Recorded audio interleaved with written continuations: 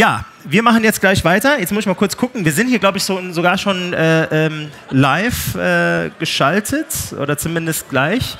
Ähm, nach Las Vegas. Und äh, warum sind wir jetzt hier gleich in Las Vegas? Ähm, da steht unser Kollege Sebastian Wolf auf der Reinvent. Und äh, hier sehen wir ihn jetzt auch schon. Sebastian, die Frage ist, kannst du uns auch schon hören oder kannst du mich hören? Ich kann dich hören, Chris. Hi. Hey, Sebastian, schön dich äh, wortwörtlich hier zu sehen. Wie ist es denn da drüben?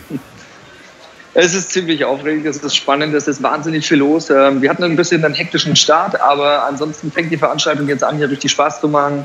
Es sind ungefähr 60.000 Leute hier, also etwa so die Größe wie auf der SPS, aber etwas anders aufgestellt. Und äh, ja, wir sind ziemlich gespannt auf den ersten Tag jetzt hier voll in Action.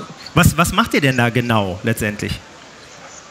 Also im Wesentlichen geht es ja darum, dass wir jetzt mit äh, ABS, und das ist ja, glaube ich, auch in der deutschen Presse gestern gewesen, jetzt eine Partnerschaft eingegangen sind, um eben Mainz hier auf der AWS-Plattform laufen zu lassen.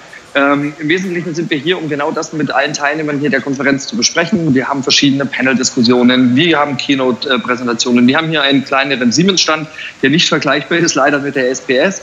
Aber genau da werden wir über diese Themen sprechen und werden auch ähm, zum Beispiel diesen Discrete Manufacturing Prozess hier gemeinsam mit den Kollegen von AWS vorstellen. Ja, schön, dass wir da mal, äh, wie gesagt, ein bisschen was von dir hören, Sebastian. Und äh, das Wetter in Las Vegas, äh, denke ich, etwas besser als jetzt hier in Nürnberg wahrscheinlich, ne? ja, wir haben etwa 20 Grad, die Sonne scheint heute tatsächlich, ah, aber es ist auch noch so. trotzdem abends ziemlich kühl.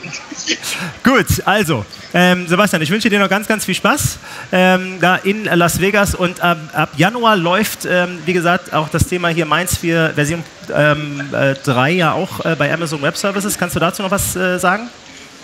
Genau, das ist richtig. Also 15. Januar ist der Stichtag. Äh, ich darf eigentlich heute hier noch gar nicht so laut reden, weil wir erst in circa einer Stunde äh, die Präsentation über dieses Thema hier haben. Also das, was in Deutschland jetzt schon bekannt ist, werden wir in gut einer Stunde hier öffentlich bekannt geben. Und genau darum geht es. Also wir stellen uns breiter auf. Das Open IoT Operating System Mainz hier wird eben, sage ich jetzt mal, deutlich flexibler, mehr Funktionalitäten und äh, AWS ist da genau der richtige Partner für uns.